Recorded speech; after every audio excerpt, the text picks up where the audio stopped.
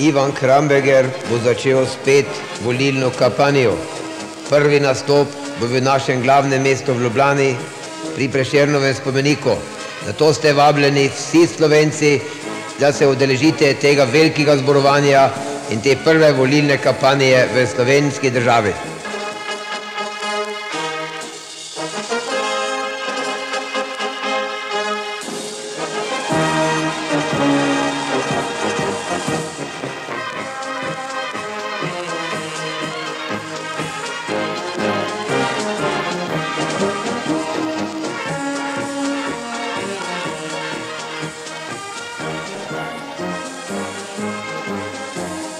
Ivan Kramberger bo imel predvolilni govor v ponedeljek v Murski soboti za blagovnico Potrošnik.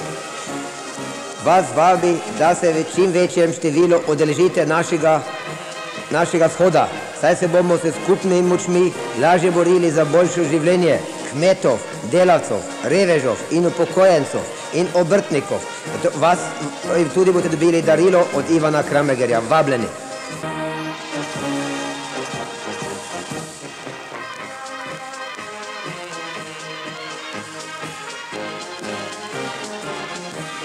Ivan Kramberger bo imel predvolilni govor v torek ob 16. uri na glavnem trgu v Ljutomeru.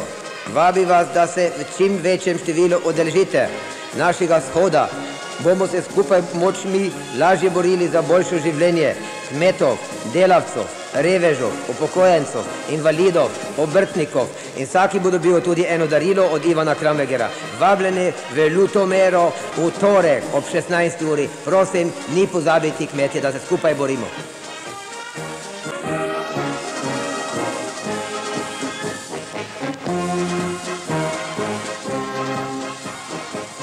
Ivan Kramberger bo imel predvolilni govor v sredo pri stari avtobusni postaji v Lendavi.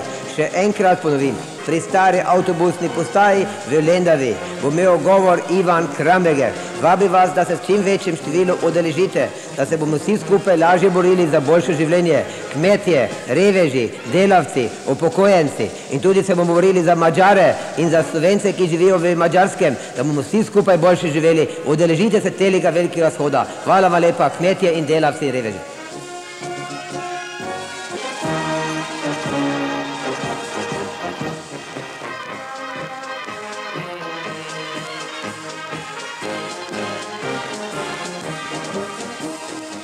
Ivan Kramberger bo imel predvolilni govor v nedeljo ob 16. uri pri gostilni Go Gomboc v Fiškovci.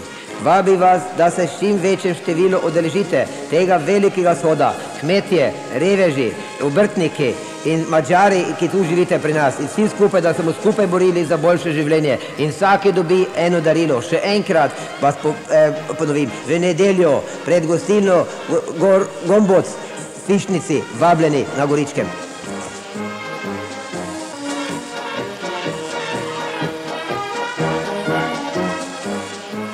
Ivan Kramberger začne spet volilno kampanjo v slovenski državi.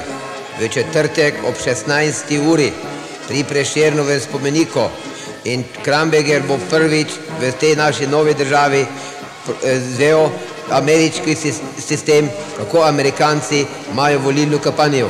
Kaj takega še niste čuli tu v Sloveniji, v slovenski državi, zato vabljeni vsi Slovenci pridite, da vam ne bo žal.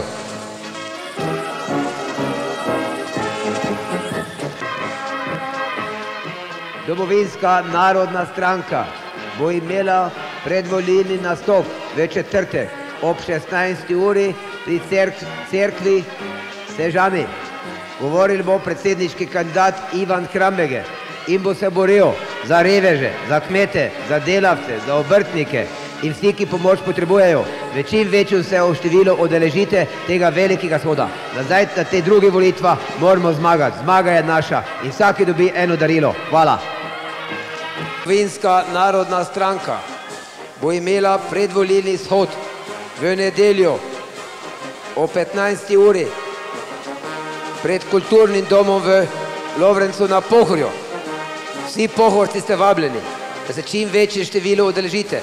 tega velikega shoda, da bomo se vsi skupaj borili za boljše življenje kmetov, revežov, za postavljeni, za invalidov, za brezposelni in za bogataše in za reveže.